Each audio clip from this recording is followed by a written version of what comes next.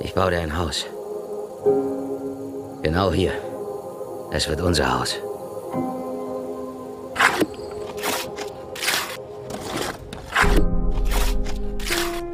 Ich fahre mit Mildred nach Washington, damit wir heiraten können. Würde ich mir gut überlegen.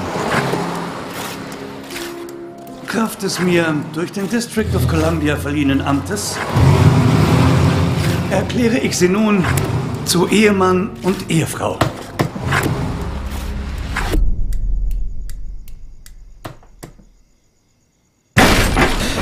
Hier sind sie! Richard! Was machst du im Bett mit der? Ich bin seine Frau. Das hat hier nichts zu sagen.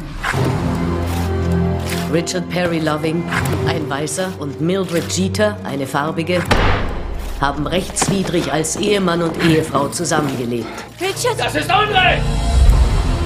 Ich bin davon überzeugt, dass die Sache bis zum obersten Gerichtshof gehen könnte. Wir haben doch niemandem was getan. Der Staat Virginia wird argumentieren, dass es unverantwortlich sei, Mischlingskinder in die Welt zu setzen. Sag der Frau, sie soll rauskommen. Ich will nicht, dass unsere Kinder hier groß werden. Mir egal, was sie mit uns machen. Geh mit Peggy ins Haus! Ich kann für dich sorgen.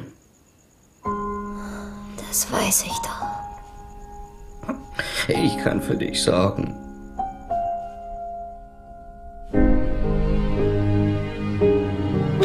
Ich weiß, dass wir Feinde haben. Aber auch ein paar gute Freunde. Dieser Fall könnte die Verfassung der Vereinigten Staaten verändern. Denken Sie, dass Sie verlieren? Wir verlieren die kleinen Schlachten. Aber wir gewinnen den Krieg.